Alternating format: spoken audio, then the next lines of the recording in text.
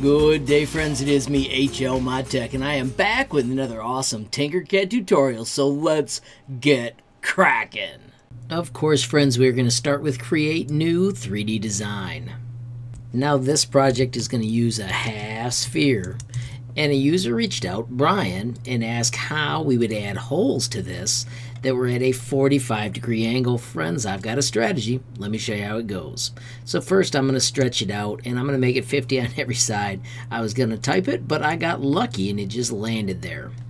I'm going to cut in the cylinders just like this. I'm going to shift squeeze and I'm going to choose a size 5 and press enter. I'm going to stretch them out so they're 30. And then Brian said he wanted to rotate them 45 degrees. So right there, that's two tick marks. Or if we hold down shift, it goes 45 degrees in one move. So now I'm going to line this up. I'm going to decide where I want mine. That's going to be the spot I pick. I am going to select it and I'm going to do L for align and I want it just like that. Now to get these all the way around, we use this technique. I'm going to do Control D. I'm going to nudge it to the other side. If you do Shift nudge, it goes twice as fast. And I'm going to use Mirror to flip it the other way. Now I'm going to nudge this out close to where the other one is. So that's similar. I'm going to make it perfect by Shift selecting and then grouping and then selecting that and doing L for align. and I want to make sure it's aligned this way. So now I have got my two 45 degree holes. When I do Control D, I can rotate that any number of degrees I want. I'm going to choose to go 45 degrees, which once again I could do Shift 45. Whatever you pick, you do want to have it divisible by 360. And then if you do Control D again and again without touching anything else, you've all of a sudden got your awesome shape where you can group it and it cuts in those cylinder holes. Now, once again, I am not sure why we're building this, but Brian asked for it, so therefore I built it.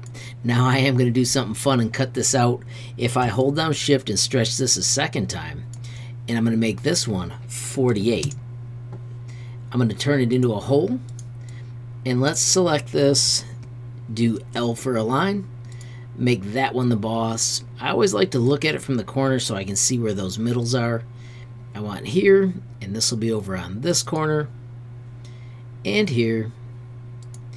And if I group that, we have got some kind of silly hamster ball or crazy dome house, whatever you want to call it. Friends, I'll show you one other cool thing. If you want to shut off this grid, it is this easy. If you want to give it a cool background color, you can click just like that. And then, of course, if you want to share it with the world, you can click back here to the Tinkercad workspace. Click on the item, change its properties. In the description, of course, I'm going to add this tutorial, and there's all these ways you can meet me. Give it a few tags. If you want me to see what you created, type HLMT23. You can do this for my projects or anything you want me to check out. And then, of course, make it public. And then I always choose no derivatives because I want you to come up here, use the tutorial, and gain some epic skills.